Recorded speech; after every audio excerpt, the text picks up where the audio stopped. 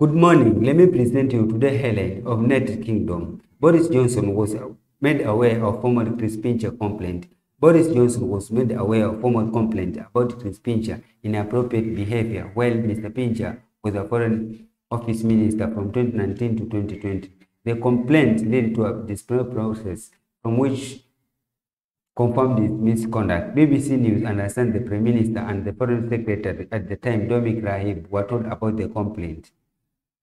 Fuel protest, arrest of for slow driving during motorways delays. More than a dozen protesters were arrested for driving too slow during demonstrations on motorways in England, Wales, and Scotland over fuel prices. The go slow action mainly targeted three-lane motorways, which with convoy of vehicles crawling along two lanes, leaving the fast outside lane free. Starmer ended Labour silence on Brexit has zeroes out rejoining single market. Keir Starmer has thrown Labour back into Brexit debate by ruling out any return to the single market or custom union by urging he could remove the and travel barriers as Prime Minister because the EU will trust him. In a speech on Monday evening that ended Labour habitual silence on subject since the referendum, Starmer pledged to tackle what he called a fabric or red tape and abuse currency caused by Johnson Brexit deal. China, way out of UK's largest microchip plant, raises concern.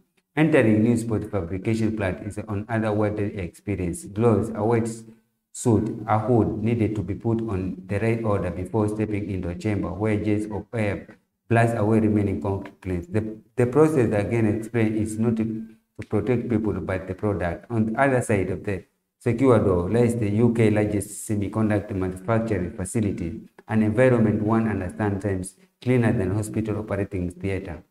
Climate protesters blew the ceiling to John Constable masterpiece. Climate protesters were touched their own vision of the future at John Constable Masterpiece National Gallery. Two activists from Just Stop Oil stepped over the rope barrier in front of the whale oil planting before attaching their own version. They then glued themselves to the frame. National Gallery said, please subscribe for more hidden like this. Thank you.